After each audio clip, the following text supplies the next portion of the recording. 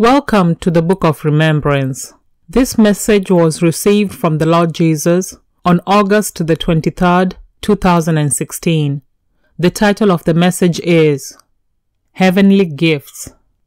And the Lord Jesus began, I am carrying bags.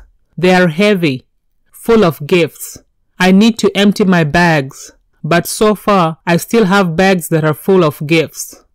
I am going around passing out my gifts to those who are willing to receive them, but many are not even interested in the gifts I bear. So many of my brides have basically retired. They do not seek anything else from me. They do not seek new assignments, anointings, or spiritual gifts. They are too busy looking up, and I have no problem in you waiting eagerly for my return. But to wait does not mean inactivity. I do not desire to see you idle. You must be busy about my business. So many of my brides are closed up now. They are only waiting for the rapture. Therefore, they are not seeking to branch out into new territories.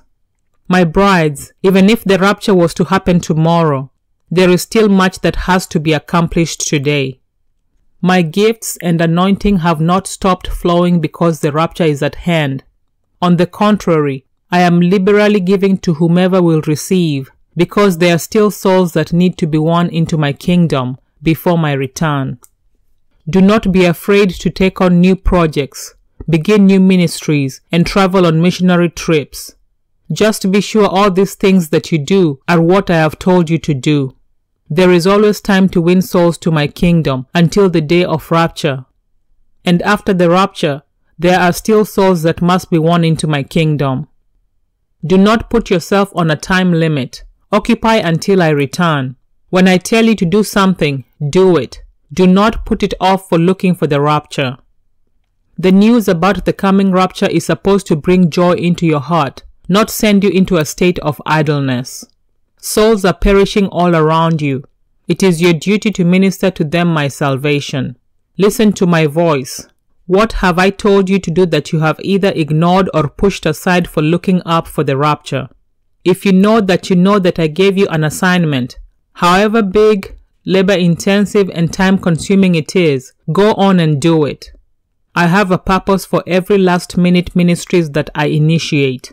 If you are unsure as to whether it was I talking to you or if you are talking to yourself, then seek confirmation from me.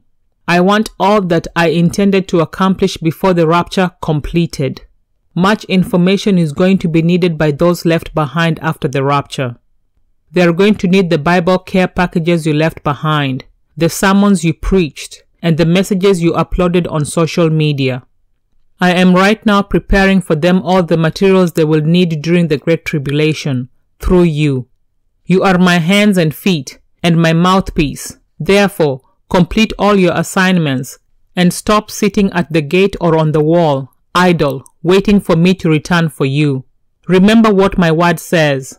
That day will sneak up on you like a thief in the night. You will be marrying and being given in marriage, making business deals, going to school. You will be doing your regular daily activities. You will be busy, and then all of a sudden, you will hear the trumpet blast, and then that is when you will stop what you are doing, for I will have returned to bring you home with me.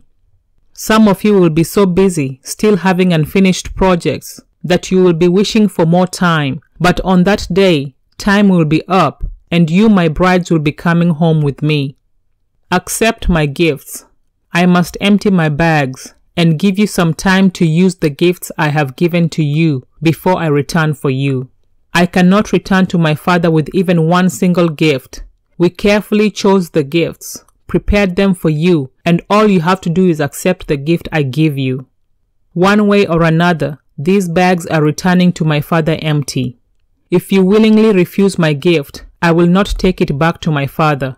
No, instead, I will find someone who is willing to accept it, and whoever wills will receive from me. The first choice belongs to you, my brides, but if not, I will find someone else willing to accept them. Amen. And that was the end of the message from the Lord Jesus. Be blessed, beloved.